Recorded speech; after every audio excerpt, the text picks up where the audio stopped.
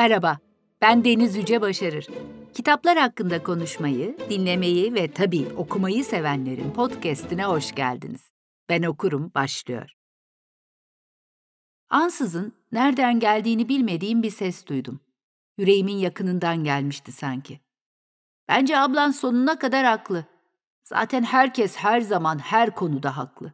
Haklı olmayan bir ben varım. Bu doğru değil. Bana dikkatle baksaydın sen de anlardın. İrkilerek yerimden sıçradım ve körpecik ağaca baktım. Tuhaf bir durumdu. Çünkü ben sürekli her şeyle konuşsam da yanıtların hep içimdeki küçük kuştan geldiğini zannederdim. Sen sahiden konuşuyor musun? Söylediklerimi duymuyor musun? diye karşılık verdi ve kıkırdadı. İçimden çığlık çığlığa oradan kaçmak geldi. Ama merakım beni yere çivilemişti. Sesin nereden çıkıyor? Ağaçların sesi her taraftan çıkar. Yapraklardan, dallardan, köklerden. Kulağını gövdeme dayarsan kalp atışlarımı duyabilirsin. Bir an tereddüt etsem de boyunun küçük olduğunu düşününce korkum geçti. Kulağımı dayadım ve derinlerden bir ses duydum. Tik, tak. Duydun mu? dedi. Söylesene, senin konuşabildiğini herkes biliyor mu? Hayır, bir tek sen. Sahiden mi? İstersen yemin edebilirim. Bir peri bana tıpkı senin gibi bir çocukla arkadaş olursam konuşabileceğimi ve çok mutlu olacağımı söylemişti. Peki bekleyecek misin? Neyi? Buraya taşınmamı. Daha bir haftadan çok var. Acaba o zamana kadar sen konuşmayı unutmuş olur musun? Bir daha asla unutmam. Ama sadece sen duyabilirsin. Ne kadar uysal olduğumu görmek ister misin? Nasıl yani? Dalıma bin. Söylediğini yaptım. Şimdi hafifçe sallan ve gözlerini kapa. Emrini yerine getirdim. Nasıl? Hayatında hiç bundan iyi bir atın olmuş muydu? diye sordu. Hiç olmadı. Harika. Bari atım ay ışığını küçük kardeşime vereyim. Onu sen de çok seveceksin biliyor musun? Şeker portakalı fidanıma hayran kalmış halde yere indim. Bak aklıma bir şey geldi. Taşınana kadar her fırsatta buraya gelip seninle laflayacağım. Şimdi gitmem lazım. Bizimkiler çıkmak üzere. Ama arkadaşlar böyle vedalaşmaz. Şşt, ablam geliyor. Gloria yaklaşırken ben de şeker portakalımı kucakladım. Hoşça kal dostum. Dünyada senden güzeli yok, dedim. Bazı metinler vardır, yüreğine dokunur insanın. Sözcükler birer yumru olur boğazında. Gözünde canlanır karakterleri, onların yürüdüğü sokaklar, tırmandığı ağaçlar, oturduğu sofralar. Saçlarında esen rüzgar bile yalar geçer sanki okurunun da yüzünü. Yoksulluğun cılız parmakları diye bir bölüm adı varsa mesela o okurunu kavuran romanda, elinin üstünde hissedebilir bir anda kişi o cılız parmakların sıcaklığını. Hele ilk gençlikte okunduysa o metin, işte o zaman vay haline okurun. Hiç çıkmaz aklından. Şeker Portakalı da işte tam da böyle bir romandır bana sorarsanız. Çoğunlukla ilk gençlikte okunan ve etkisini bir ömür boyu sürdüren Şeker Portakalı. Nereden alır gücünü? Herhalde samimiyetinden. Hayatta sevgiden daha değerli bir şey olmadığını düşündürme becerisinden. Ana karakteri 5 yaşındaki Zeze'nin hayal gücünden, hınzırlığından, çocukluğundan. Biraz da satırların arasında kol gezen şiirden, şiirinden. Evet efendim, ben okurumun bu bölümünde José Maura de Vasconcelos'un ünlü eseri Şeker Portakalı'nı konuşuyoruz.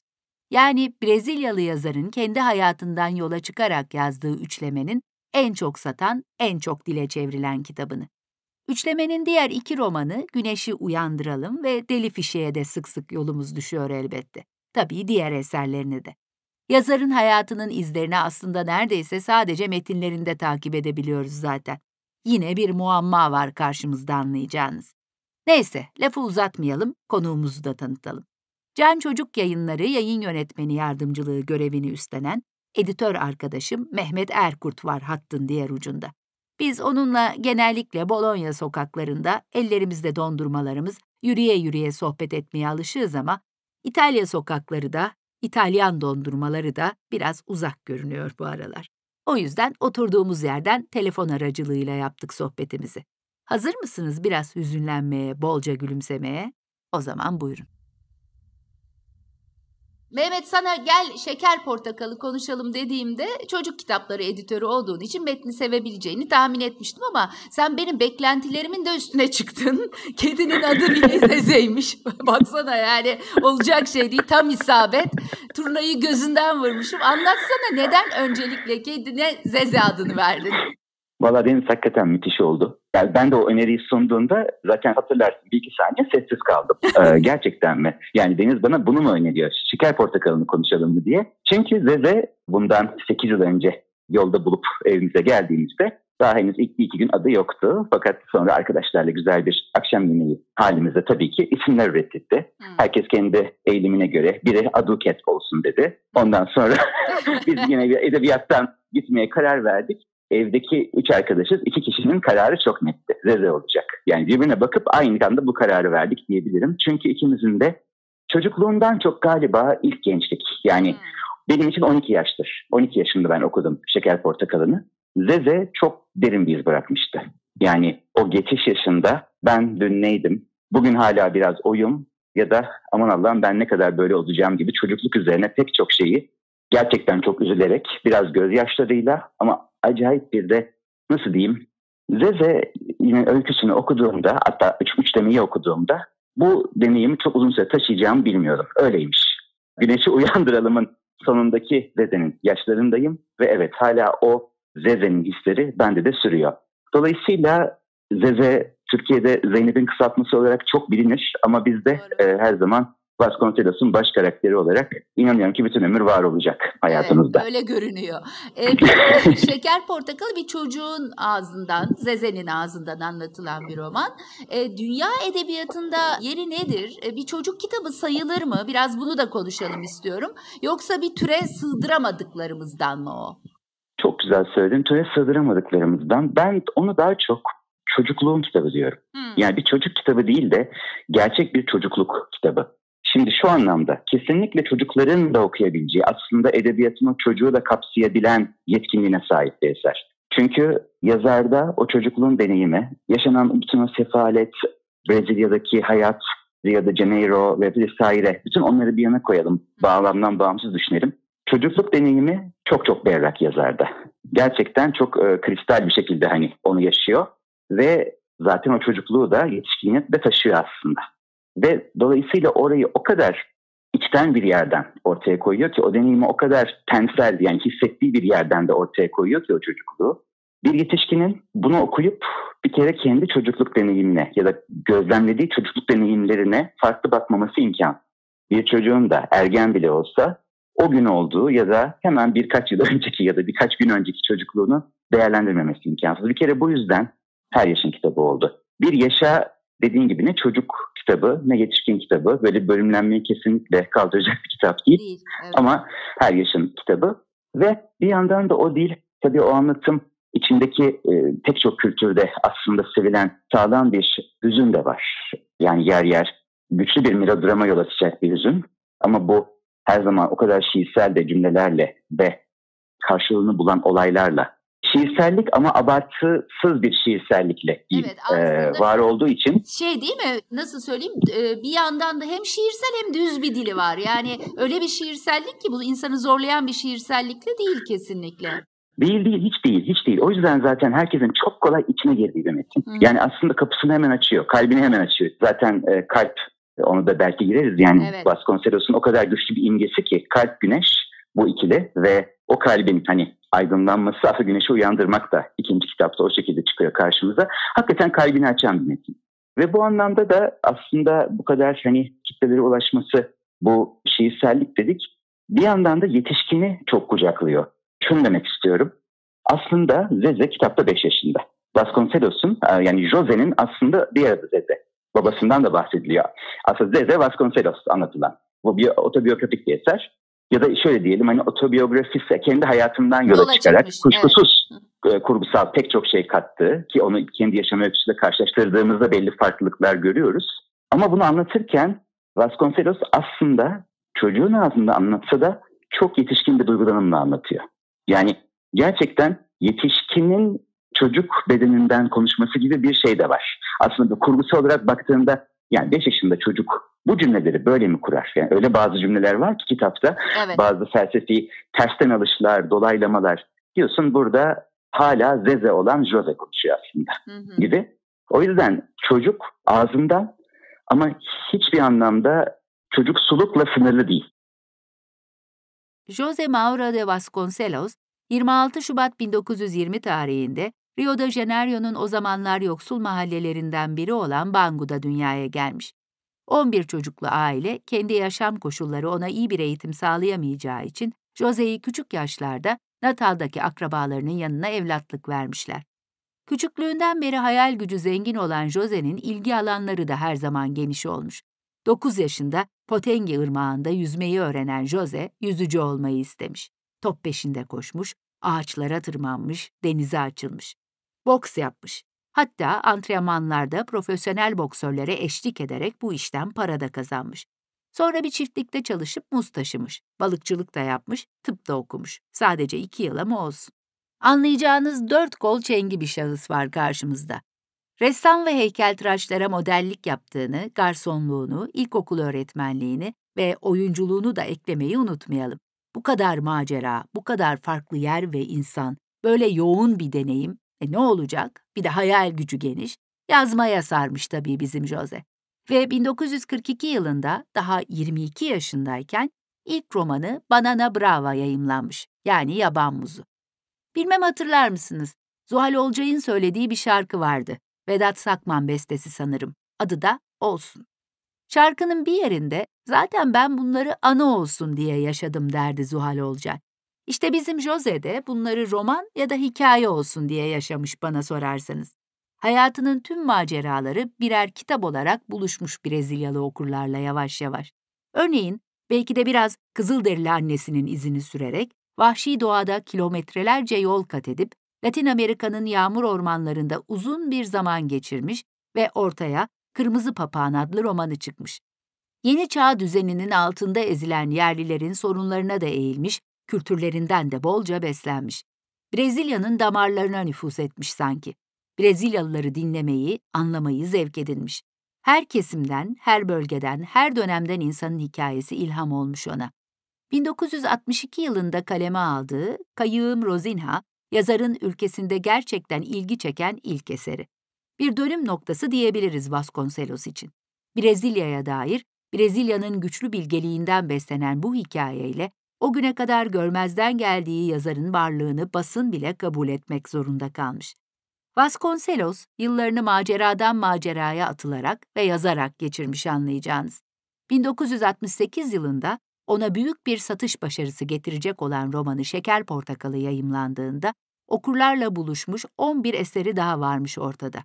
Brezilya'da bir ay içinde 217 bin satış rakamına ulaşan roman, 1970 yılında Amerika'da, 1971'de de İngiltere'de basılmış ve diğer çevirilerde ardından gelmiş.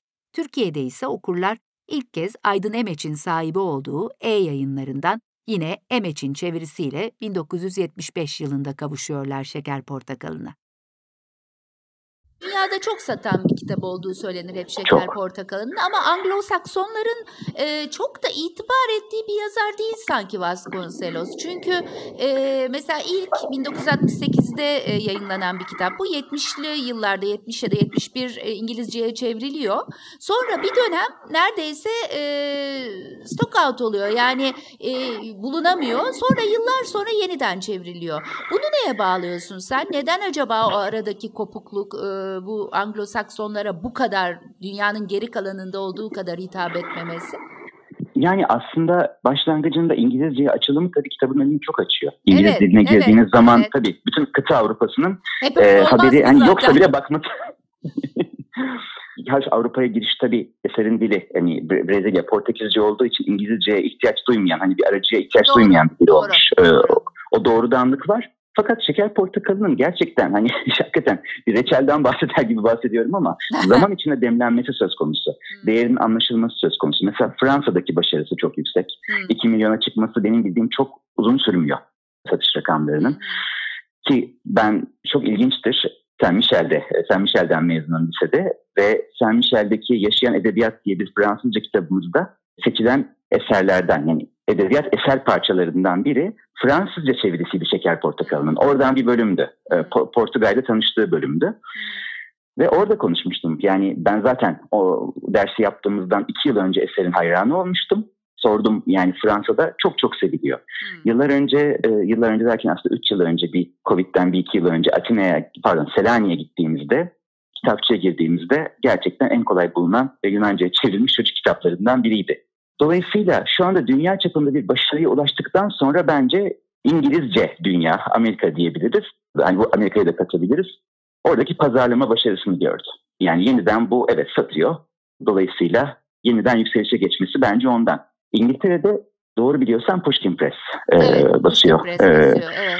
Pushkin Press basıyor. Şimdi mesela ciddi ciddi devam Vasconcelos kitaplarını konuşuyorlar, düşünüyorlar. Yani Vasconcelos'un bir yükselişi var.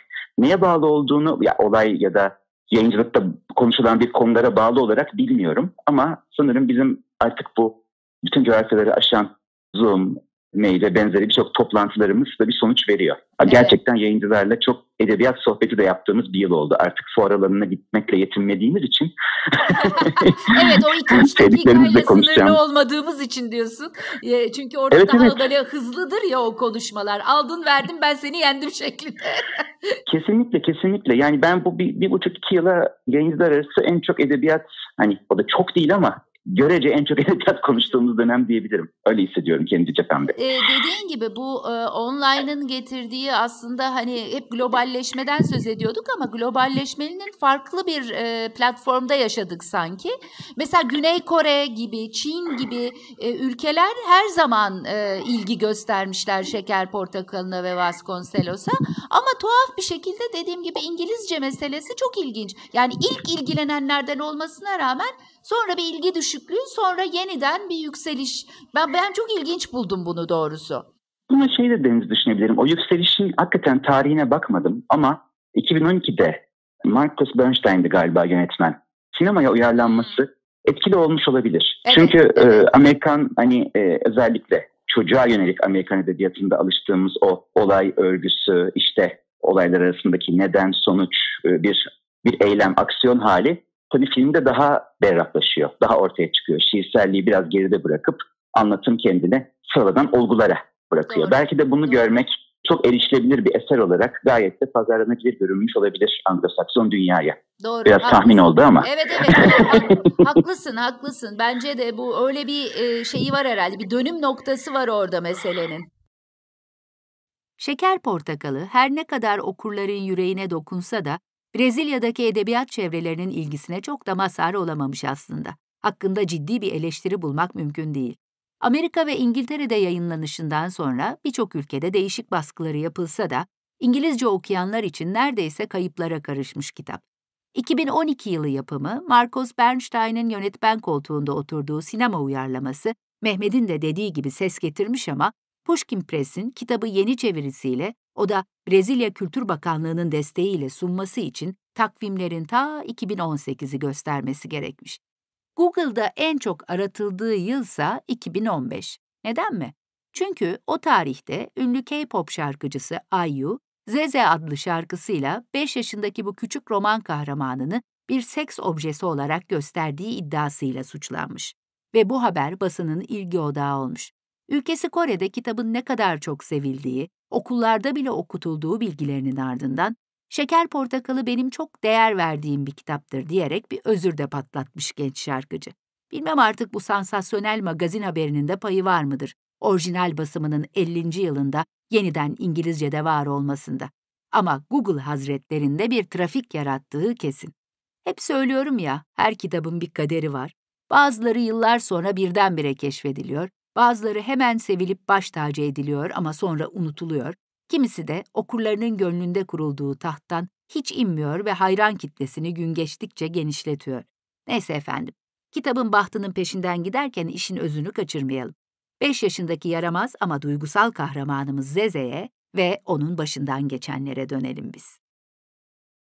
Bu arada biraz önce de konuştuk. Vasconcelos'un hayatından yola çıktığı kesin Şeker Portakalı, Güneşi Uyandıralım ve Deli Fişek üçlemesi Deli Fişek. diyebiliriz herhalde. Böyle böyle üç kitapla yetişkinliğe geçiş yapıyor Zeze. Ee, ama çok ilginç. Araya çok özür dilerim girdim. Belki onu sen söyleyecektin ama çok ilginç bir şey. Ben bunu öğrendiğimde yani senle buluşmamız vesile oldu bunu öğrenmeme. Bu üçlemeden yazdığı ilk kitap aslında bizim son zannettiğimiz kitap Deli Fişek, Doydao. Evet, kronolojik bir şeyi yok. Yazmada kronolojik yok. bir sıralama yok. Çok ilginç değil mi?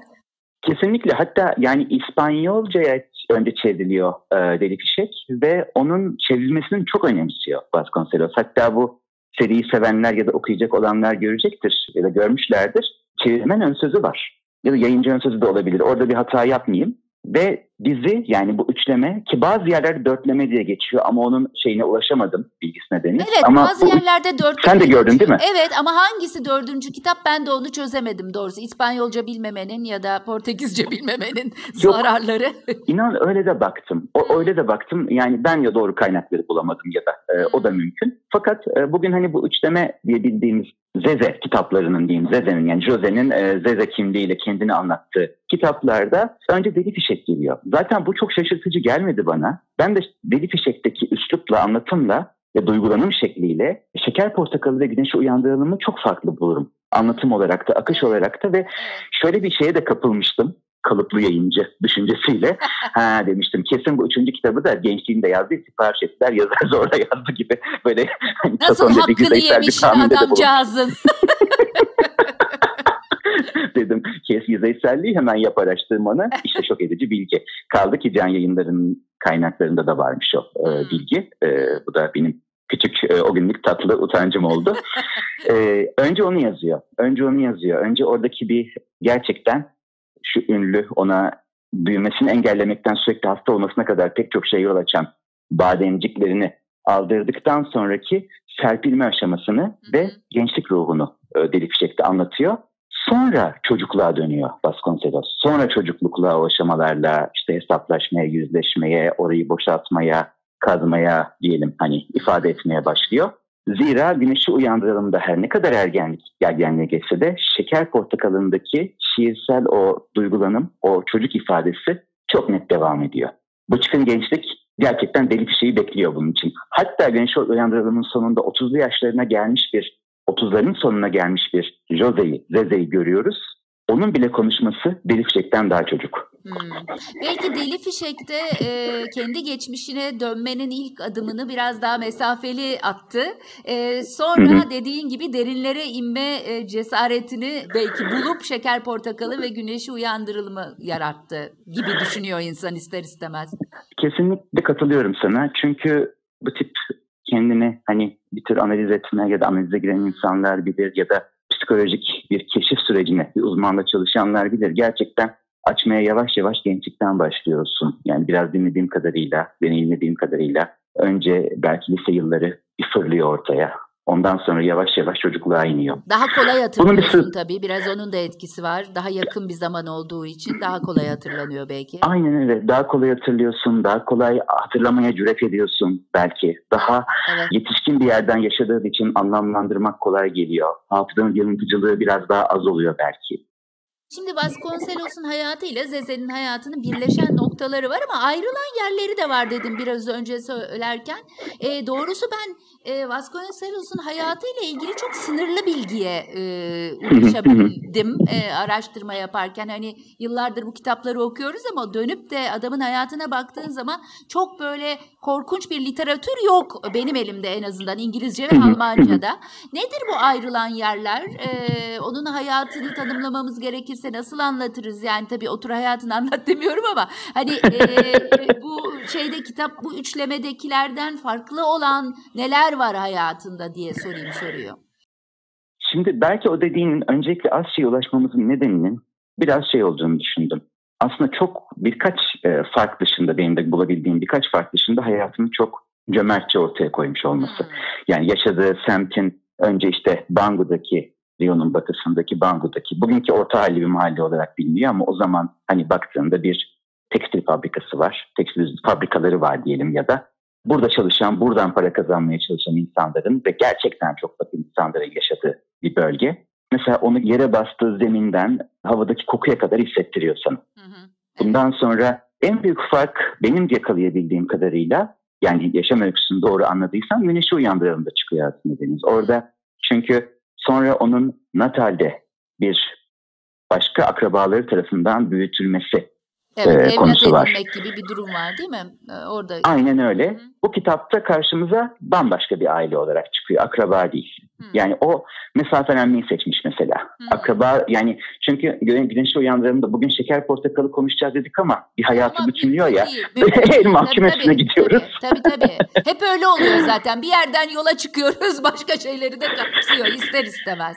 Ve çok güzel Kesinlikle. oluyor bence lütfen. Evet devam edelim. Ha, şey, yaşasın tamamdır. Yani güneşi uyandıralım da e, çünkü bu bunu biraz koyuyor ortaya. Orada şeyi çok net görüyorsun. Bir ailenin bir ailenin hala üyesi olmak, onu kabul eden, onu isteyen ailenin ama bir yandan da içinden aslında hani kendi hayatta kalması için kopması gerektiği o eski ilk ailesine özlemesini de konu ediyor. Hmm. Şimdi belki de bir akraba yanında geçseydi hikaye bunu bu kadar anlatamayabilirdi. Biraz o farkı da bence koymak istemiş. Gördüğüm en büyük farklardan biri oydu. Bir de sanki biraz daha ben yaşam öyküsünden ileri bir yaşta eğitim için başka bir aileye gittiğini anlamıştım. Bu kadar 11 yaşında değil. Daha erken ee, değil. Daha erken değil. Ama bu benim de hani yanlış e, anlamam olabilir. Gerçekten dediğim gibi hani dilsel olarak ulaşabildiğim pek çok yerde söyleşiler ben de bakmaya çalıştım. Artık vardığım yorum şu oldu. Hani Fransızca'da da baktım, İspanyolca'da da baktım. Birazcık bu kitaplarda kendini ortaya zaten çok berraklıkla koyduğu için fazla da bir şey belki ekstra anlatmadı ya da o dönemde 84'te çünkü ölüyor e, evet. Vasconcelos. Evet. O zamanki diyelim dergicilik ya da o dönemki içerik ve o içeriğin farklı dillere çevrilmesi bugün kadar eş zamanlı haber değeri taşıyacak bir hızda olmadı belki de. Biraz da o olabilir. Ben biraz da biraz önce söylediğim şeye de bağlamak istiyorum sanki. Bu e, İngiliz-Amerikan e, meraklılığına da e, muzdarip olmamış ondan da sanki. Yani e, o aradaki boşluk e, adamın hayatını da çok fazla konu edilmemesine de mi sebep olmuş? Çünkü Amerikalılar olsa durmazlardı gibi geliyor. Yani böyle Evet. Değil mi? Evet bir de sanki bir de şu da var. Yani yaşadığı dönemde hani çok bilmediğim yerden hakem kesmek istemem ama birazcık hatırladığımızda basılan ya da çevrilen az tek tük eseri, evet. bol bol basılan ama tek tük çevrilen eseri düşündüğümde yaşamı boyunca 84 öncesinde bu şiirselliğe, bu Brezilya'ya bakacak bir Amerikan ya da İngilizce yayıncılık var mıydı? İşte, Özellikle Amerika evet, üzerine düşünüyorum. Evet, evet. Bu da bir soru işareti bende. Yani bu duygulanımlar, bu arayışlar, bu farklı sesi istemeler, yani bu an aynı şekilde Asya'da, Asya edebiyatına da Güney Asya'ya da bakmalar. Bak düşündüğümde aslında çok çok daha yeni. Ama keşke daha çok şey bilseydik diyor insan. Yani e, hani o ayrılan yerlerin tam olarak nereleri olduğunu, hayat... çünkü çok da ilginç bir hayatı var. O kısacık özgeçmişten bile anladığımız kadarıyla. Bir sürü Kesinlikle. yani yazar olana kadar bir sürü meslek denemesi, bu mesleklerin de çok ilginç meslekler olması falan da yani aslında çok ilginç e, hikayesi de var. Kesinlikle. Yani mesela boks antrenörlüğünden ilk parasını kazandığı alanlardan biri. Evet, evet. Ee, ondan sonra işin içinde hani ırgatlık var, denize açılmak var ve işin ilginci hemen hepsi de bütün çalıştığı meslekler üzerine de bir roman kitabı var, bir romanı var evet. aslında. yani Yaban Muzu'yla başlıyor ki evet. Yaban Muzu'nda zaten ülkesine de çok e, selam ediyor. Bir yandan orada annesinin geldiği Pinaje ya da Apinaje yerliliği konusu da var. Ondan sonra kardeşim Deniz, kardeşim Rüzgar. O sırayı hep yanlış söylüyor olabilirim ama yani orada bir denizin nasıl diyeyim çekiciliği ve ona karşı konulmaz çekiciliği üzerine evet. e, pek çok şey var. Yani o denizde ölüm atlattıktan sonra bile o denize dönmek konusu var. Doğayla hep zaten iç içe metinler değil mi? Kesinlikle. Doğayla, yani doğaya çok özel bir yer verip doğayı hatta karakterlerinden biri olarak ortaya koyan bir yazar diyebiliriz değil mi? Diyebiliriz iki anlamda hatta diyebiliriz. Bence bir hakikaten doğadan duygulanan bir şair olarak bu belki işin Avrupa'yı yönü diyebiliriz. Bir de o toprakların tabii ki yerli kültürü. Hmm. Yani ondan bir, bir önce dinlenen masallar, ninniler, hikayeler çoğunlukla yerlilerin hikayeleri. Anlat, onların duygulanımları. Bir guava ağacının, bir mango ağacının önemi üzerine. Çocuk kitaplarında da aynı şey var. Yani onun mesela Hayatımın Güzel şarkısı diye çevrilen asıl, asıl adı Camdan Kalp. Orada mesela anlattığı hikayelerde insanın dünyasında, insan dünyasında diğer canlıların nasıl var olamadığı, nasıl insanın nesnesi, aracı gereci haline gelip aslında tükenip gittikleri üzerine bir çocuk kitabıdır o. Ve orada da yaklaşımı aynen böyle dediğin gibi son hikayeyi bir ağaca verir mesela. Bir mango ağacına. Hı hı. Yani zaten Şeker Portakalı'nın e, bir baş karakteri de e, o şeker portakalı, o fidanlıktan ağaca geçen Minguino değil mi? Minguino. E, Minguino, Minguino evet. Yani, ya da ya da kayık İspany mesela e, bir başka e, romanında da bir kayıkla konuşan evet. bir kişi var. Yani böyle hep e, bir sohbet halinde, bir dostluk halinde e, aslında doğayla ya da objelerle bazen nesnelerle kayıkta olduğu gibi. Çok çok güzel bir konuya girdiniz kesinlikle. Yani şimdi biz önce hani doğadan bağlayalım dediğim gibi. Portakal ağacı hatta biraz güdük bir portakal ağacı. Evet. Yani baktığın zaman şeker inşallah portakal verir, belki verir. Yani inşallah lütfen verir denilen bir ağaç. Ki filminde de gördüm. Çok güzel bir fidan seçmişler. Yani o çocuğu taşıyacak kadar güçlü, hı mukavim ama onun dışında küçük bir aslında ağaç ve ne olacağını, geleceğini bilmediğim bir ağaç. Tıpkı zeze gibi. Yani evet. bu topraklarda asperkader yaşıyor, büyüyor, kök salıyor. İşte kök salacak mı hı hı. E, topraklarına zeze gibi? Brezilya'da yaşayabilecek mi? Neye evrilecek? Yani meyve mi verecek yoksa hep güdük mü kalacak? Şeker portakalının zeze gibi bir çocukluk hali var. Hı. Bir henüz yetişmemişlik hali var. Ama bu senin söylediğin nesnelerle konuşma, yani yetişkinlerin, büyüklerin duymadığı, cümlelerini duymadığı, kalp atışını duymadığı, konuşmayan canlılar ya da cansız nesnelerle çocuk karakterlerin ilişki kurması diye bir şey var. Mesela Zeze'nin işte burada bir portakal ağacı. Güneşi uyandırıldığında bu bir kurbağa, kalbini yerine geçen kurbağa. Hemen başlangıcında anlattı.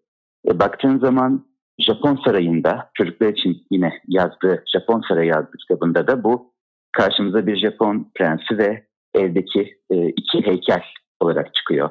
Ya da Kristal Yelken'de de baş karakterimiz Edu, Eduardo ve onun evdeki yine hayvan heykelleriyle konuşması. Hep bu var. Yani çocuğun, o çocuktaki e, gel gitti, derinliği, çalkalanmayı, tıkanmışlıkları açamayan ya da açmak istemeyen, bakmayan ya da bakamayan yetişkin dünya var. Ve o kendisi kendi iletişim yollarını buluyor. Dinleyecek muhataplar yaratıyor kendine. Evet. Zaten çocukların çok da çok hayal arkadaşları yok mudur e, belli yaşlarda düşündüğünde? Yani hep böyle birçok çocuğun özellikle yalnız çocukların her zaman bir hayal arkadaşları vardır yanlarında onlara eşlik eden.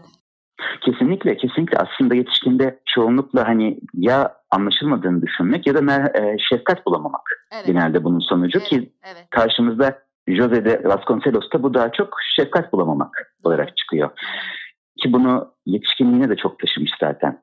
Hep söylerler yani çok hassas bir, bu birkaç mesela bulduğum bilgiden biri gerçekten hassas, çok duyarlı bir insanmış.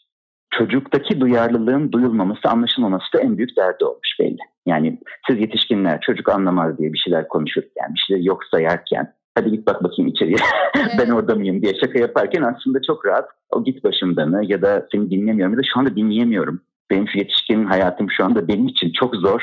Lütfen bana bir alan aç hani uzak dur dendiğinde çocuğun ne hissettiğini Masal Seros biliyor. Louise burnunu çekmeye başlamıştı bile. Yok yapma böyle. Sen bir kralsın. Kral adı olduğu için babam adını Louis koymuş. Sokağın ortasında herkesin önünde ağlamak bir krala hiç yakışmaz anladın mı? Başını göğsüme yaslayıp lüle lüle saçlarını okşadım. Büyüdüğümde tıpkı Manuel Valadares efendininki gibi güzel bir araba satın alacağım. Hani şu Portekizli'nin arabası hatırladın mı? Bir seferinde istasyonun orada Mangaratipa'ya el salladığımız sırada yanımızdan geçmişti. İşte aynı onun gibi koca bir araba alıp içini hediyeyle dolduracağım. Sırf senin için. Ama sakın ağlama. Krallar ağlamaz. Yüreğim müthiş bir burukluk hissiyle dolup taştı. Yemin ediyorum alacağım. Gerekirse çalıp çırpmaya çekinmem. Bunları söyleyen içindeki küçük kuşum değildi. Yüreğim olmalıydı. Başka yolu yoktu. Bebek İsa beni neden sevmiyordu? Doğduğu sırada orada bulunan öküz de eşeği bile seviyordu. Beni ise hiç sevmiyordu. Şeytanın vaftiz evladı olduğum için benden intikam alıyordu. Ama Louis bunu hak etmiyordu. Çünkü bir melekten farksızdı. Cennette bile ondan daha iyi huylu bir melek bulunamazdı. Derken gözyaşlarım kalleşçe dökülmeye başladı. Zeze, sen ağlıyorsun. Birazdan geçer. Ne de olsa ben senin gibi kral değilim. Yaramazın tekiyim. Kötü hem de çok kötü bir çocuğum o kadar. Romanın Şeker Portakalı'nın e, alt başlığı var. Bir gün acıyı keşfeden küçük bir çocuğun hikayesi. Bu tanımdan da yola çıkarak Zeze'yi e, nasıl bir roman karakteri olarak anlatırsın sen? acıların çocuğu Zeze dememek için ne yaparsın diyorsun. evet yani sensin. aslında öyle bir yansıması oluyor bu alt başlığın çünkü. Ama evet, evet. bir yandan da çok muzip bir çocuk var. Evet hüzünlü, acılı bir yan var ama bir yandan da muzip bir karakter var ortada. Çok muzip, çok yaratıcı. Kaldı ki şimdi senin soruna cevap verirken biraz yaklaşarak vereyim başka bir şeyi senin şu anda hani açtığın yoldan. Hı hı. Bir yandan da muzipliklerini içinde yükselen aslında o hani hinlik diye Emre Himli'nin çok güzel çevirdiği, ona da selam olsun buradan müthiş çevirisi için. O hinlikleri yapma anlarını şeytanın bana konuştuğu ve bana bir şey yaptırdığı an olarak tanımlıyor. Tabii çok Hristiyan bir kültürün içerisinde ve ailede de evet. bir çocuk doğduğunda bebek İsa doğar, seni şeytan getirdi. Ya, evet. şeytan doğdu. E, denecek kadar aslında müthiş bir suçla doğuyor çocuk. Yani o aslında ilk günah aile yeniden yüklemiş. Yani vaftizi dağıtmış, mahvetmiş. Yani çocuk gerçekten ben şeytanın çocuğuyum diye geziyor. Bir yandan da o kadar böyle, böyle bir çocuk değil ki. Dolayısıyla ben buna şey diyorum. Zeze'yi nasıl bir çocuk dersen anladıklarıyla yetişkin dünyada kendini anlatmaya çalışan bir çocuk. Şeytan çekici diye bir laf vardır. Aslında daha sempatiktir şeytan çekici Doğru. ama aile için burada gerçekten şeytan gibi algılıyorlar çocuğu ve e, çok da acımasızca cezalandırıyorlar diyebiliriz sıklıkla. Tabii tabii Deniz ailede şey yok aile mesela neden, nereden çıktı bu diye bir şey sormak yok. Hmm. O mesela söz yazarıyla söylediği hmm. şarkılardan birini babasını mutlu etmek için söylediği yerde baba ne hangi şarkıyı söylüyorsun sen bir daha söyle bakayım diyor. Söylüyor bir tokat bir daha söyle bir tokat da. Ondan sonra iş e, kemerle dövmeye kadar geliyor. Evet. Ve yani orada bu şarkıyı nereden duydun, niye söylüyorsun sorusuna gelemiyor. Ve baba hemen algısı şey, beni dalga geçtiğini düşündüm. Hepsi çok hassas insanlar hassas ve yıpranmış insanlar. Yani ne sinir kalmış ne evet, tahammül kalmış. Evet, evet. Biraz gerilimin getirdiği bir hassasiyet ve tahammülsüzlük de var diyebiliriz evet. herhalde değil mi? Ee, diyebiliriz, diyebiliriz. Seze kalabalık bir evde yaşayan yalnız bir çocuk. Yoksulluk, ilgisizlik ve sertlik sarmış dört bir yanını. Bir çocuğun duyabileceği ihtiyaçlardan neredeyse hiçbiri karşılanmıyor. Yaramazlıklarıyla göstermeye çalışıyor sanki o da kendini ve işler o zaman daha da sarpa sarıyor. Ama hayatı izleyen bir çift gözü, anlamaya ve sevmeye yatkın bir yüreği ve öğrenmeye açık zehir gibi bir beyni var bizim yaramazı olanın. Sadece sığınacağı bir kucak arıyor, kendisini dinleyebilecek, sırtını sıvazlayabilecek, yanağını okşayabilecek bir el. Kendi yüreğine eş bir yürek arıyor, bir baba yüreği belki. Şeker Portakalı'nın yazarı Vasconcelos'un macera tutkusunu da bir arayışa bağlamak mümkün.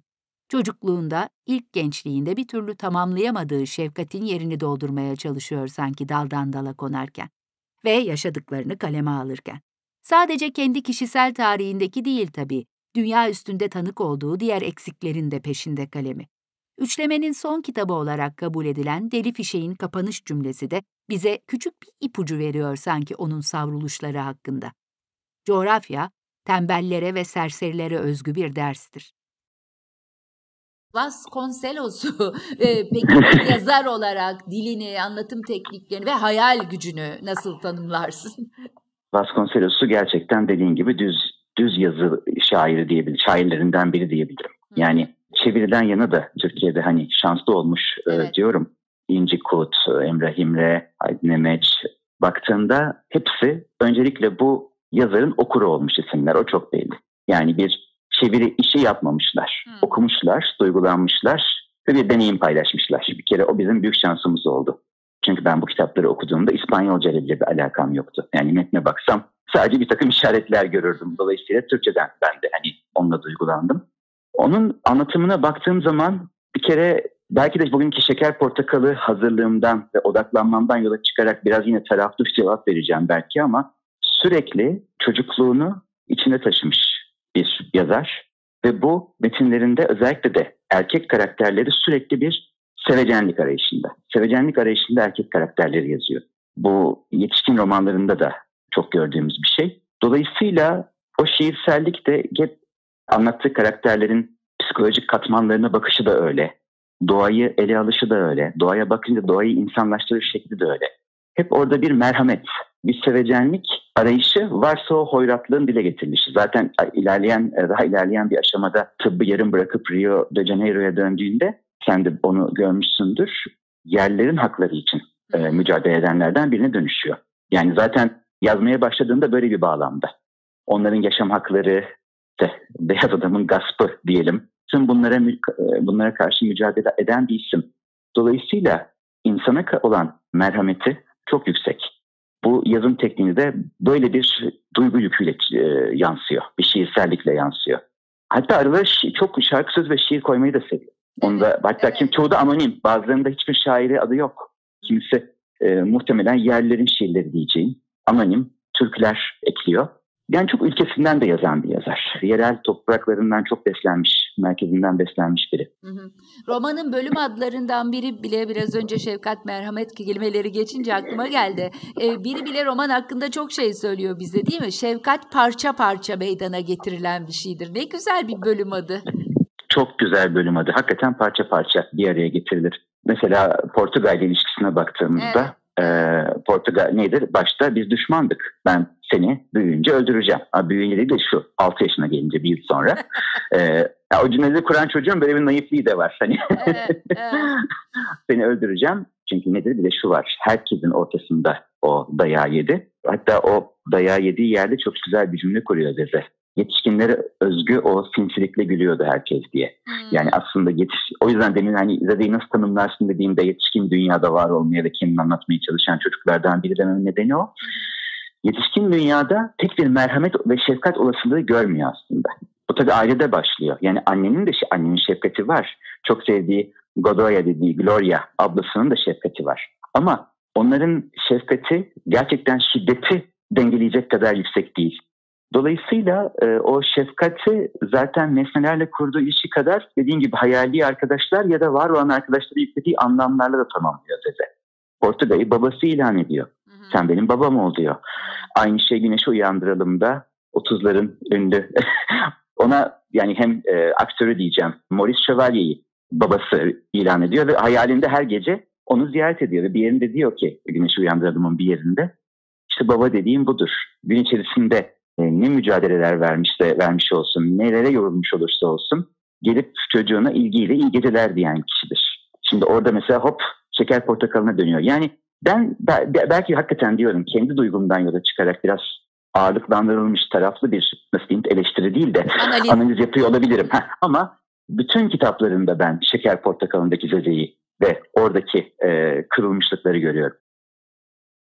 Jose Mauro de Vasconcelos tüm eserlerinin 1974 yılında Brezilya'nın köklü yayın evlerinden Melhoramentos tarafından yapılan baskısı için kaleme aldığı kısa hayat hikayesinde metinlerini yıllarca birer fikir olarak kafasında döndürüp durduğunu, yazmak için masa başına geçtiğinde ise neredeyse bir trans halinde hızla yazıp bitirdiğini anlatmış. Daktilosunda parmakları acıdan işlemez olana kadar yazarmış bizim Jose. Hedeflediği bölüm bittiğinde dururmuş o uçan parmaklar. Şeker portakalını da 12 günde dökmüş sayfalara. 20 küsur yıl boyunca kafasında ve yüreğinde şekillendirip durduktan sonra tabii. Yazacağı konu hakkında sıkı araştırma yapan, olayın geçtiği bölgede uzun bir zaman geçiren, yöre halkından masallarını, efsanelerini dikkatle dinleyen, sonra beynine kaydettiği tüm ayrıntıları hayal gücüyle zenginleştiren bir yazar Vasconcelos. Yazdıklarının sevilmesinin nedenini de kendisi gibi sıradan insanları basit ve dolambaçsız bir dille anlatmasına bağlıyor. Gerçekten de çok sade bir dille anlatılıyor Zeze'nin hikayesi. Eh, anlatıcımız da beş yaşında bir çocuk ne de olsa. Ama okumayı kendi kendine öğrenmiş, çevresini çok iyi gözleyen, hayat hakkında yaşına göre biraz fazlaca fikri olan bir çocuk. Zeze'nin hüzün dolu hayatının neden olduğu gözyaşlarımı bu kadar çok okuru şeker portakalına çeken, yoksa aralara serpiştirilmiş hayata dair felsefi saptamalar mı emin olmak güç. Bana sorarsanız hangi yaşta, dünyanın neresinde, hangi çağda olursak olalım en çok ihtiyacımız olan şeyden söz etmesi. Evet, bildiniz. Sevgi. Şeker portakalının aslında ana temasının hani hayatı güzel kılan ya da iyileştiren tek şeyin sevgi olduğu ve berbat eden tek şeyin de sevgisizlik olduğu fikrinden yola çıktığını söyleyebiliriz sanki romanın değil mi? Kesinlikle söyleyebiliriz. Şunu da ekleyebiliriz ama ilgiyle buluşan sevgi. Evet. Yani uzaktan ben seni seviyorumun yetmediğini de gösteriyor. Ya da sevgim sabit. Ben seni sevdiğim için dövdüm gibi e, korkunç klişeleri kaldıracak bir hayat yok. Yani o evet. sevginin gerçekten başı okşamak mı, gerektiği yerde sarılmak mı, temas mı? Hiç temas etmiyorsan bile gerçekten biraz şu hani oksitosin yükselten bakışlarla bakabilmek mi? Samimi bir iyicillikle, iyilikle bakabilmek mi? Bu Vasconcelos'un aslında çok güzel söyledin. Sevginin tensel ya da görsel, bakışsal fark etmez bir temasa büründüğü hali bir özlemi var her zaman. Evet. Özellikle de erkek dünyasında da diye de ekleyebiliriz bunu. Evet. Ee, evet. Çünkü sürekli baba koyuyor yerine. Anneden almış, anneye inanmış, o güven tamam. Anne ona söylediği ninnilerde, en azından hastayken başında bekleyişinde, Gloria ile beraber, ablasıyla beraber bir taraftan sevgi almış ama bir taraf çok e, güdük ve eksik kalmış. Evet bu aslında erkek dünyasına e, çok şey söyleyen bir roman. E, çok, bir yandan çok. da dediğin çok doğru.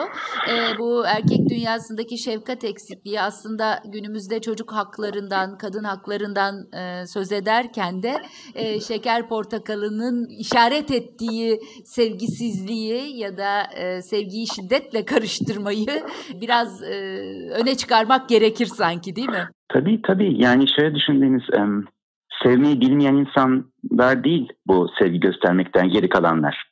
Yani hakikaten sahip olduğu köpeği büyük bir aşkla sevip gözlerinin içine bakan bir e, adamın gerçekten oğluna, yeğenine değişik bir, başka bir erkeklikle, kaygıyla o yumuşaklığı gösterememesi söz konusu.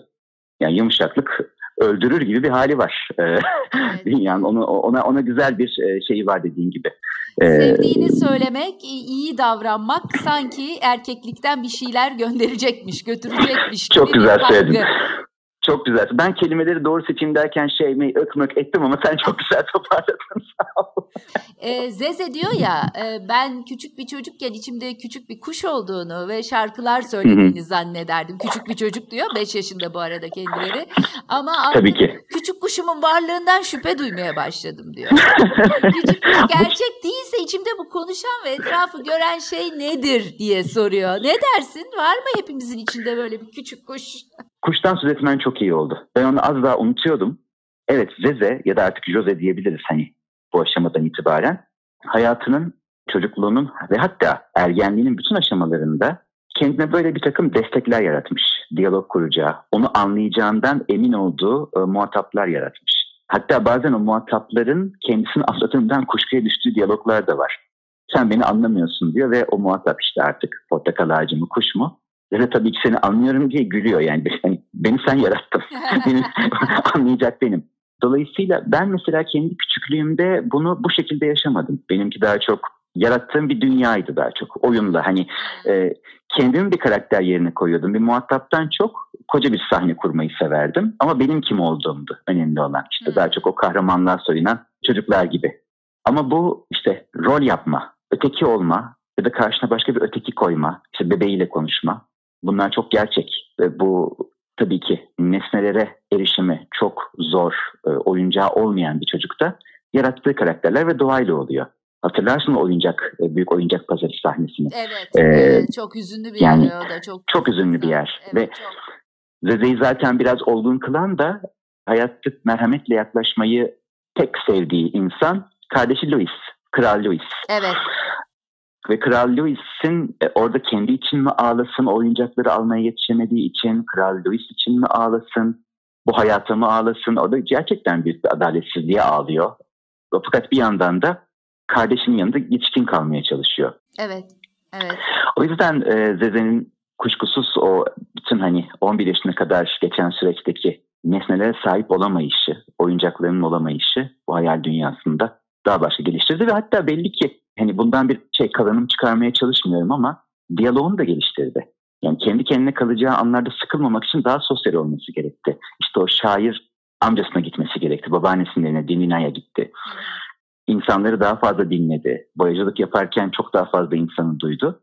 Ve biraz da yetişkin dünyasına aslında erken adım attı. Evet. Kaçınılmaz olarak. Sen benim oğlum olmak mı istiyorsun? İnsan babasını doğmadan önce seçemiyor. Ama ben seçebilsem seni seçerdim. Gerçekten mi bızdık? Yemin bile edebilirim. Hem böylece sofradan bir tabak eksilmiş olur. Söz veriyorum. Bir daha hiç küfretmem. Kıç bile demem. Ayakkabılarını boyarım, kuşların kafesini temizlerim. Çok uslu dururum. Okulun en iyi öğrencisi olurum. Her şeyi yaparım. Bütün kurallara uyarım. Ne diyeceğini bilemiyordu. Başkasına verilirsem evdekiler sevinçten ölürler. Rahat bir nefes alırlar. Gloria ile Antonio'nun arasında doğmuş bir ablam var. Kuzeye yolladılar. Zengin bir kuzenimizin yanına verdiler. Okuyup önemli yerlere gelsin diye. Suskunluğu devam ediyordu. Gözleri yaşlarla dolmuştu. Vermek istemezlerse satın alabilirsin. Babamın hiç parası yok. Beni kesin satar. Çok para isterse taksitle alabilirsin. Jacob Efendi de hep takside böler. Cevap gelmeyince önceki gibi yattım. O da yattı. Bak Portuga, beni istemiyorsan hiç önemli değil. Seni ağlatmayı istemezdim. Saçlarımı ağır ağır okşadı. Ondan değil evladım, ondan değil. İnsan hayatta işleri öyle tek bir hamlede çözemiyor. Yine de sana bir teklifte bulunacağım. Seni anne babandan ve evinden ayırmam mümkün değil. Ne kadar istesem de buna hakkım yok. Ama bugünden itibaren seni yavrummuş gibi seven ben, sana öz evladımmış gibi davranacağım. Coşkuyla yerimden fırladım. Gerçekten mi Portuga? Yemin bile edebilirim senin hep dediğin gibi. En yakınlarıma bile pek yapmadığım bir şey yaptım. O iyilik dolu şişman yanaklarını öptüm. Bir klasik gibi değil de bir ilk dosya olarak gelseydi önüne şeker portakalı. Neler hissederdin? Değiştirmek istediğin bir şeyler olur muydu? Nasıl davranırdın yazarına? Benim süper bir soru. Çok çok sağ ol. Şimdi bir titredim ama tabii ki isteğiyle bir kendime geldim öncelikle. Karşımda Jose'yi de görsem o saygı var. Zeze'yi görsem belki daha çok var saygı. Ama belki şunu söyleyebilirdim. Şeyini çok iyi anladım bir kere. Demin de hani senle konuştuğumuz yetişkin duygularıyla çocuğun ağzından anlatıyor ve bu doğal olarak yetişkin sesin bol bol araya girmesine yol açıyor. Hoş, bugün biz bunu çocuğu da kapsayan edebiyat dediğimiz çocuk edebiyatında belki bir eleştiri konusu olarak ortaya koyuyoruz. Yani seçtiğin anlatıcı sesi o anlatıcının gerçekliğini taşısını ama bir yandan da edebi tadı yakalasın. İşte böyle bir zorluğu vardır çocuk evet. edebiyatında birinci şahıs anlatımının diye hep bunu konuşuruz. Ama tabii ki yazdığı yıla baktığımızda böyle bir çocuk edebiyatı üzerine bir düşünüş yok. Yani bir kere zaten uzaktan bir eleştiri gibi o döneme asla bu kitaba bu eleştiriyi de yapmam. Ama bugün gelse bu dosya dediğin gibi bugün bu haliyle gelse söyleyebileceğim şey Zeze'nin kurduğu bazı müthiş cümleleri şeye çekmek. Diyaloglardan çıkarıp, o tırnakların içinden çıkarıp anlatıma katmak. Çünkü birinci şahıs anlatımda yani kendi monologları ya da diyalogları dışında yazar kendini kattığını zaten belli ediyor. Ben büyük bir yaştan o yaşa bakıyorum. Tabii, evet. O nostalji, ciddi bir nostalji bu kitap. Çocukluğa özlem aynı zamanda. Dolayısıyla sadece Zeze doğrudan karşı tarafa bunu hitap ederken cümleleri biraz böyle kurmasa mı dedim. Çünkü şansıma bu dönem 5 ve 6 yaş çok tanıdığım oldu. Hani kendi yaşamındaki örneklerden yola çıkmak da kısır bir şeydir ama bunun bu kadar uzağında olduklarını görünce artık o şey Zeze'nin konuştuğu değil, konuşmasını istediği, ifade etmesini istediği şeyleri söyletmiş ve buna da hakkı var tabii. Ama bunu konuşurdum herhalde. Şeker Portakalı ülkemizde her zaman çok sevilen ve satılan kitaplar arasında yer alıyor. Seviliyor sevilmesine de Türkiye'nin makus talihinden o da nasibini alıyor elbette. 2013 yılında Milli Eğitim Bakanlığı'nın ortaokul öğrencilerine okutulması için seçtiği 100 temel eser arasında bulunmasına rağmen bir Türkçe öğretmeni öğrencilerine şeker portakalı ile ilgili bir ödev verince hakkında soruşturma açılıyor. Vay efendim neymiş? Türk örf ve adetlerine aykırıymış. İçinde argo kelimeler varmış. Edebiyata edebiyat olarak bakmayı, kurgunun derin sularında yasaksız kulaç atmayı öğrendiğimiz gün hayat hepimiz için daha güzel olacak bana sorarsanız. Yazarların, yayın evlerinin başka hiçbir açıklamaya gerek görmeden edebiyat bu, dünyası geniştir, sözcükleri sınırsız, yargılanamaz, soruşturulamaz deyip geçecek güce sahip olduğu günse hayat bayram olacak. Bir dönem ülkemizde bu romanla ilgili bir soruşturma açılmıştı değil mi? Ee, hatırlıyor evet. musun? Yani e, sen ne diyorsun böyle bir şeye? Yani çünkü e, argo konuştuğu iddiası falandı değil mi konu? E, sebebi oydu. Tabii sanki. tabii. Yani tabii rezalet. ne diyeyim hani burada benim çok sakin kalmam ne yazık ki mümkün değil. Bu çok ilginç bir şey var edebiyattan e, çocuk söz konusu olduğunda Deniz. Hayattan çok kopuk, steril, toz pembe bir şeyler bekleniyor. Oysa adı üstünde bunun edebiyat yani bu klinik bir metin değil. Bu bir eğitim materyali değil. Kullanmak istiyorsan ne güzel ama yola çıkış, e, doğuş nedeni bu değil. Dolayısıyla o hayatı anlatacak. Yani bunları edebiyattan kesme çabası çocuğu dışarıdan sokaktan koparacağını, hayattan koparabileceğini düşünmekle aynı şey. Gördüğü, duyduğu, tanık olduğu pek çok şeyi bir öyküde bulamamasının aslında çok daha büyük bir hasar olduğu, edebiyata yansımamasının çok daha büyük bir hasar olduğunu anlamamamızdan geliyor birazcık. Bu tabii en masum yönü. Yoksa ben sansürün her zaman güç odaklarınca uygulanmış şekli bu kadar masum olmuyor. Orada pek çok yok sayış, ötekileştiriş de var. O çok başka bir şey ama bu kitap özelinde şunu hatırlıyorum Şeker Portakalı özelinde. Onu hatırladığım için bir daha bakmadım. Efendim bu Zezabel bir takım davranışları sergiliyor. İşte hinlikler yapıyor, tuzaklar kuruyor, isyan ediyor, küfrediyor falan. Ama bir yerde ki pek çok yerde var. Bununla ilgili bir eleştiri ya da öz eleştiri yok. Bu doğru bir şekilde hani yapmış gibi bitmiş çünkü nedense okuyan okurun hiçbir eleştirisi, hiçbir şeyi yok. Evet, Kapasitesi evet. yok. Ona bir at koyamayacak. Her şeyi kitap e, sunmak zorundaymış gibi. Bundan tabii çok daha kötü yerlere geldik. Bugün sansür konusunda, sansürün histerik evet. talepleri konusunda cinsiyetlerden azade bir işlerden bahsediyorum ama e, acayip bir e, noktaya geldik. O zamanki masum bile kaçtı ve zaten bir sonuca da ulaşmadı. Peki sence e, bu dönem çocuklarını göz önüne alırsak ve e, kitabın yoğun e, hüzün içermekte olduğunu da e, göz önüne alırsak sence bir çocuk kaç yaşlarında okumalıdır şeker portakalını? Hangisi daha tabii çocuktan çocuğa değişir ama e, kaç yaşından itibaren okunabilir şeker portakalı? Bunun taban yaşını belirlemenin zorluğu tabii çok farklı çocuklar, insanlar olması evet, ama her zaman bu çalışmayı yapıyoruz bir asgari bir şey belirleme ihtiyacımız en azından yetişkin dünyanın soruları içerisinde var. Yani kaç yaşa okutacağız bu kitabı gibi. Ben sadece hüzün ya da konu değil, içindeki o oradaki fakirliği anlamak, orada anlatılan o yerlilik, araya, araya giren egzotizme yol açabilecek bazı cümleler, kelimeler, işte dilin kullanımı bunlara baktığımda bir 10 yaş sanki edebi olarak bu hani eserin keyfini alabilecek yaş sanki 10 yaşta biraz Değil daha mi? başlar gibi 10, geliyor. 10 üzeri diyorsun. 10 üzeri, 10 üzeri. Yani bunu 10 yaşında okuyacak çocuk da var ama bir 10 yaşında hani manevi yeğenlerimden birinin de tek zevk alacağı bir kitap değil. Onu da fark ediyorum. O yüzden gel 10-11 diyelim senle. Tamam. Ama dediğim gibi bu sadece şey Anlaştık. değil. Hani kitabın duygusal yükünü kaldırmak değil. Üzerine yetişkinle oturup sohbet edebildiği zaman çocuk çok şeyi kaldırır. Onun o dirençliliği, gücü, mukavemeti çok yüksek. Yeter ki üzerine sohbet edecek bir ortamı yetişkini olsun. Şeker portakalından yola çıkıp da çocuklarımızla iletişim konusuna gelmememiz mümkün değildi. Kabul edersiniz siz de herhalde. Çocuklarımıza, sevgililerimize, dostlarımıza sevgimizi göstermenin öneminden söz ettik ya, bu ancak sağlam bir iletişim kurmakla mümkün oluyor malum.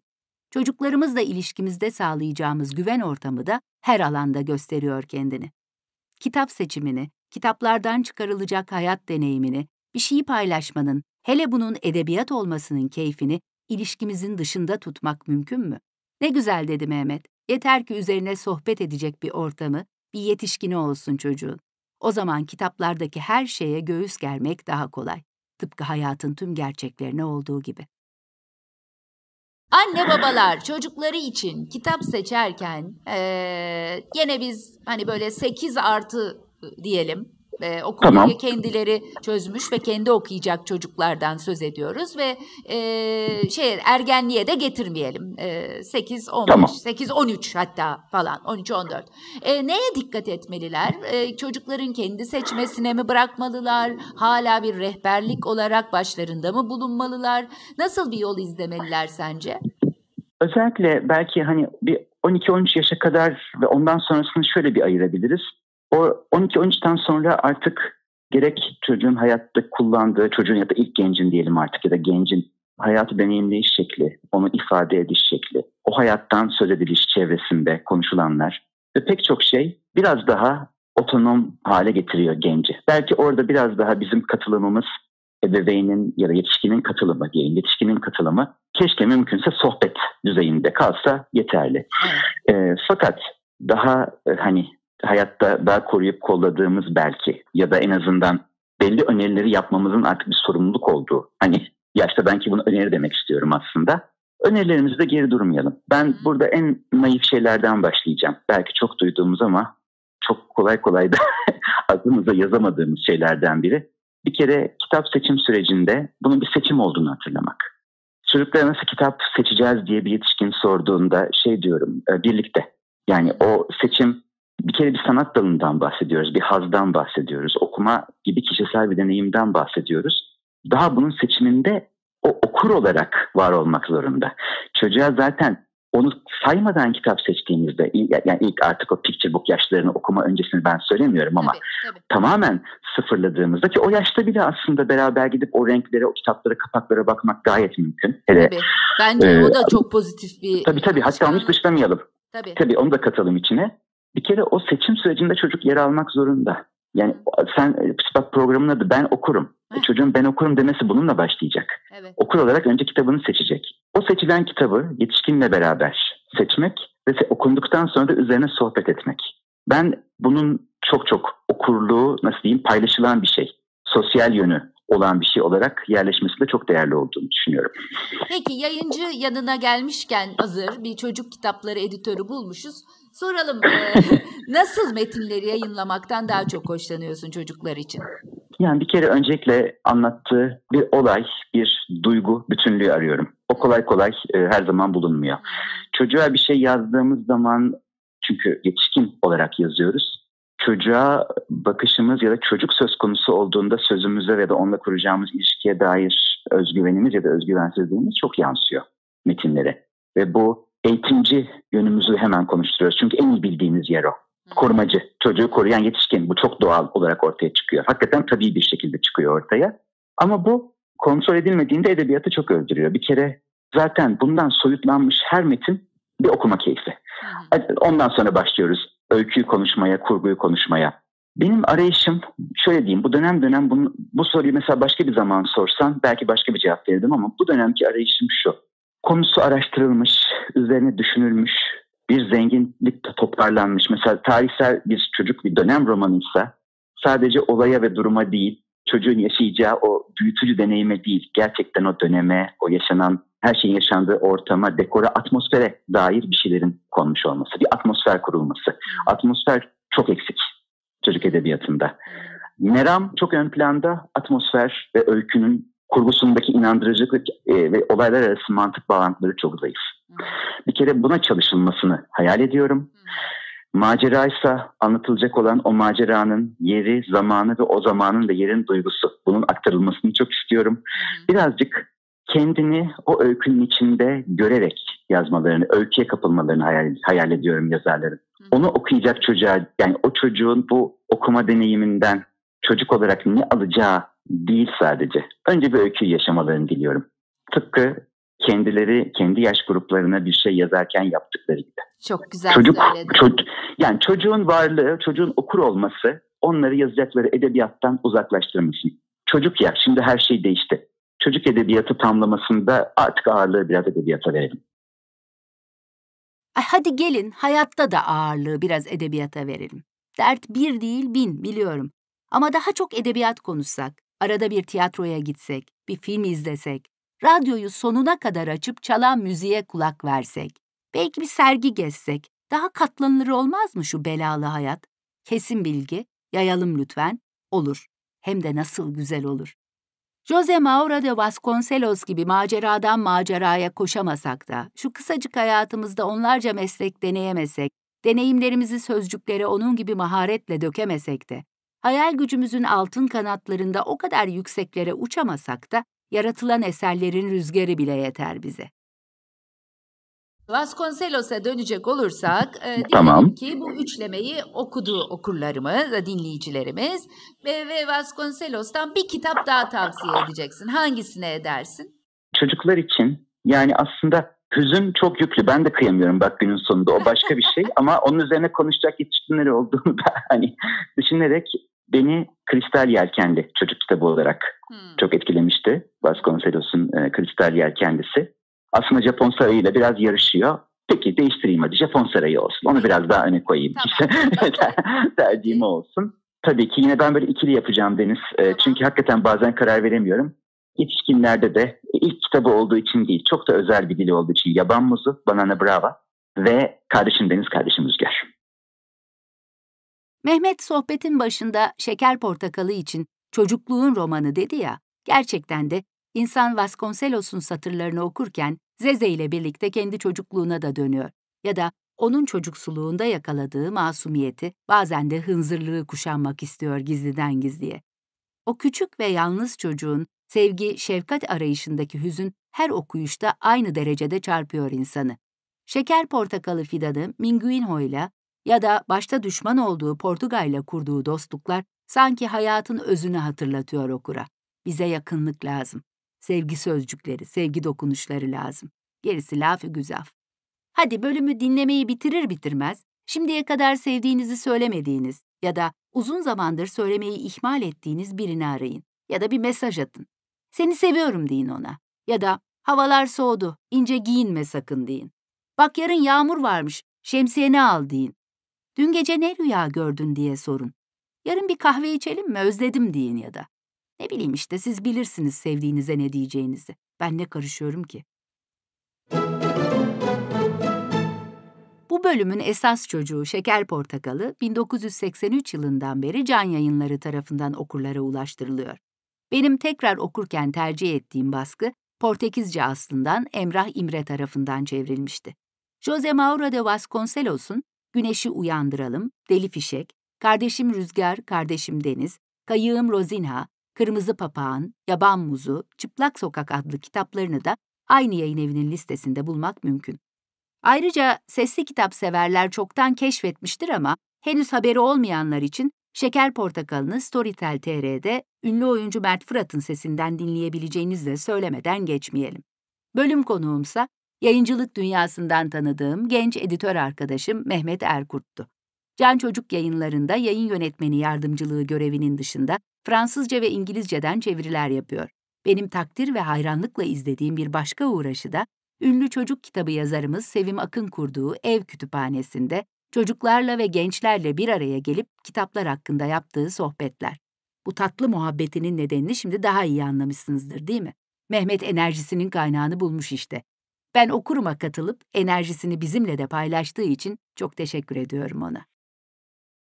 Şeker Portakalı'nı okuyun çünkü edebiyatla harika bir ilişki başlatır. Kitap okumakla harika bir ilişki kurmaya doğru gidersiniz. Ben okurumun bir bölümünün daha sonuna geldik. Ama malum okuma serüvenimizin sonu yok. Bana kitap önerilerinizi yazmak isterseniz e-posta adresim benokurum2020 ve son sözü şeker portakalına bırakıyoruz. Seneler geçti sevgili Manuel Valadares. Bugün 48 yaşındayım ve bazen kendimi hasrete öyle kaptırıyorum ki hala çocuk olduğumu zannediyorum. Her an ortaya çıkıp bana sinema yıldızı kartları ya da misketler getireceksin sanki. Hayatın şefkatli yanını bana sen öğrettin sevgili Portugal. Bugün çocuklara misketler ve kartlar dağıtmaya çalışan benim. Çünkü şefkat olmayınca hayatın pek değeri kalmıyor. Şefkat göstermek beni bazen mutlu ediyor, bazense yanıltıyor. Ki bu ikincisi daha sık oluyor. O günlerde yani beraber geçirdiğimiz günlerde henüz hiç duymamıştım uzun yıllar önce bir budala prensinin gözlerinde yaşlarla bir sunağın önünde diz çöküp ikonlara sorduğu şu soruyu. Küçük çocuklara her şeyi neden anlatmak gerekir? Hakikaten de sevgili Portugal. Bana her şeyi çok erken anlattılar.